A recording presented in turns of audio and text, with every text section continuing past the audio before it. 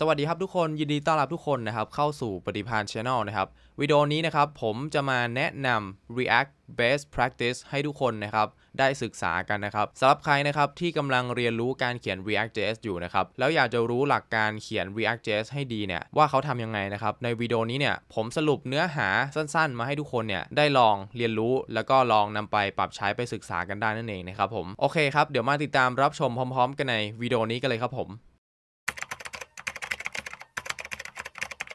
โอเคครับทุกคนก็เดี๋ยวผมจะพาทุกคนนะครับมาดูสไลด์ React.js Best Practices นะครับหลักการเขียน React.js ให้ดีนะครับผมอันดับแรกเลยนะครับเรื่องแรกเนี่ยก็คือจะเป็นการออกแบบแล้วก็เขียน Component ให้เล็กนะครับตรงนี้ก็คือ 1 ฟังก์ชันต่อ1 Component นั่นเองนะครับผมเพราะว่ามันจะทำให้ง่ายต่อการเขียน Test แล้วก็สามารถนำมา reuse ได้ง่ายนะครับก็คือนำมาใช้ซ้ำได้ง่ายนะครับแล้วก็มันจะง่ายต่อการ optimize ประสิทธิภาพด้วยนั่นเองนะครับผมสองนะครับก็คือการนำ Component ที่เขียนกลับมาใช้ใหม่เป็นสิ่งสำคัญนะครับ ทุกคนควรสร้างคอมโพเนนต์ใหม่ให้น้อยที่สุดนะครับ เราควรออกแบบให้คอมโพเนนต์เนี่ยสามารถที่จะกลับมา reuse ใหม่ได้นั่นเองนะครับ ก็ยกตัวอย่างตามรูปภาพนี้นะครับ อย่างเช่น ผมต้องการที่จะสร้างคอมโพเนนต์เป็นตัว card นะครับ เนี่ย ตรงนี้ผมก็สามารถที่จะ reuse ตัว component card ของผมได้นะครับ อย่างเช่น ผมต้องการสร้าง card ตัวที่2นะครับ ที่มันมีในส่วนของตัว border หรือว่าสีปุ่มที่แตกต่างกันนะครับ หรือว่าอาจจะเป็นตัวที่3นะครับ ก็จะเห็นว่าจะมีลักษณะในส่วนของ style เนี่ย แตกต่างจากคอร์สตัวที่ 1 นั่นเองนะครับ ก็ตรงนี้ก็คือเราเนี่ยสามารถที่จะ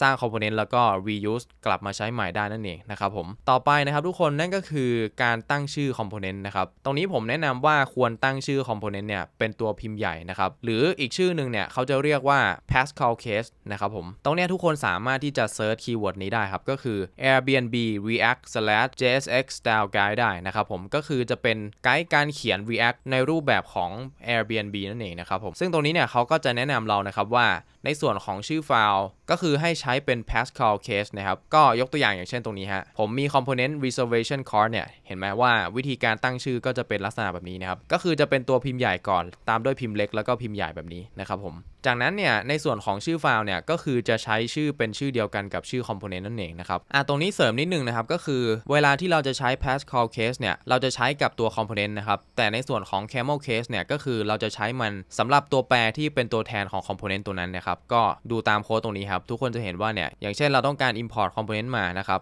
ก็ import มาจากไฟล์ reservation card นะครับ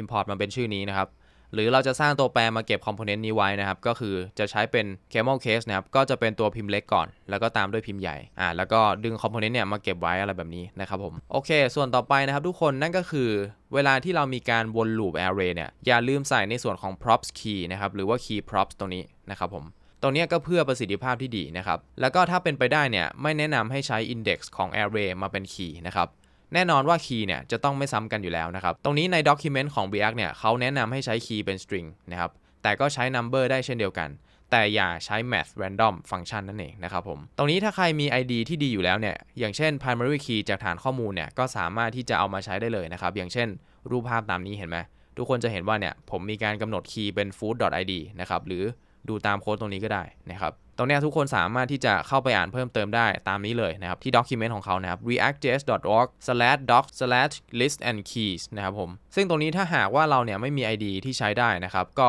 ให้ลองเป็น library ตัวนี้ก็ได้นะครับ ก็คือ nano id นั่นเองในการ gen id ออกมานะครับผม ส่วนต่อไปนะครับทุกคนก็คือเราเนี่ยไม่ควรใช้ div ใน component โดยไม่จำเป็นนะครับ ให้ทุกคนเนี่ยใช้เป็น React Fragment หรือว่าเขียนเป็นแบบนี้ก็ได้นะครับ แต่ตรงนี้อย่าลืมว่าเรายังคงต้องเขียน HTML เปิดปิดให้ถูกต้องเหมือนเดิมนะครับ ในส่วนของ React Fragment เนี่ยทุกคนจะเห็นว่านี่คือการใช้งานมันนะครับ ตัวเนี้ยเราจะใช้แทน div ไปเลยนะครับผม หรือว่าถ้าใครขี้เกียจเขียน react.fragment อย่างนี้นะครับ ก็ให้ทุกคนเนี่ยลบทิ้งไป ให้เหลือแค่ตัวนี้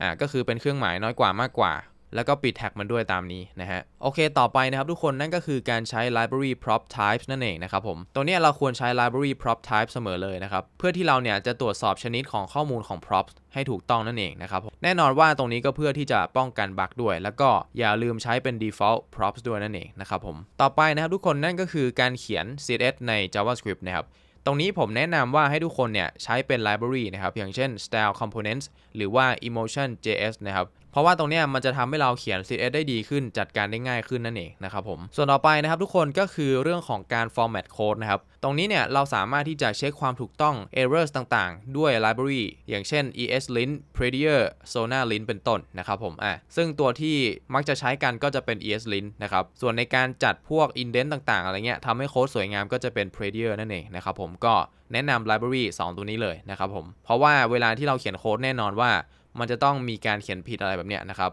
บางคนเนี่ยอาจจะไม่ได้ระวังนะครับ ก็แนะนำให้ติดตั้งตัวนี้นะครับ ก็คือ ESLint นั่นเองนะครับ ต่อไปนะครับทุกคนนั่นก็คือเวลาที่เราเนี่ยมีการพัฒนา React Application นะครับ ถ้าเกิดว่าทุกคนเนี่ยอยากจะทำงานได้ง่ายขึ้น สะดวกขึ้น รวดเร็วขึ้นนะครับ ผมแนะนำให้ทุกคนนะฮะติดตั้งตัว React Developer Tools ไว้นะครับสำหรับการ test นะครับแล้วก็ debug application ของเรานั่นเองนะครับ ตรงนี้เนี่ย มันจะช่วยลดภาระในการที่เราจะพัฒนาแอปพลิเคชันได้เยอะมากๆเลยนะครับสุดท้ายนะครับทุกคนนั่นก็คือการใช้ฟังก์ชัน Component นะครับซึ่งณปัจจุบันนี้เนี่ย React นะครับเขาก็แนะนำให้ทุกคนนะครับ เปลี่ยนมาใช้เป็น Function Component แทน Class Component นั่นเองนะครับ เพราะว่ามันจะมีประสิทธิภาพที่ดีกว่าตัว Class Component นะฮะ โค้ดจะเขียนสั้นกว่า แล้วก็เข้าใจได้ง่ายกว่าด้วยนะครับผม ตรงนี้เนี่ยเราก็ควรใช้ function component ก่อนเสมอนะครับ แล้วก็ถ้าเกิดว่าเราอยากจัดการกับ state เนี่ยก็ควรที่จะใช้ React 6สำหรับการจัดการกับ state ใน React application ของเรานั่นเองนะครับผม โอเคครับทุกคนก็หวังว่าวิดีโอนี้ครับจะเป็นประโยชน์กับทุกคนนะครับที่กำลัง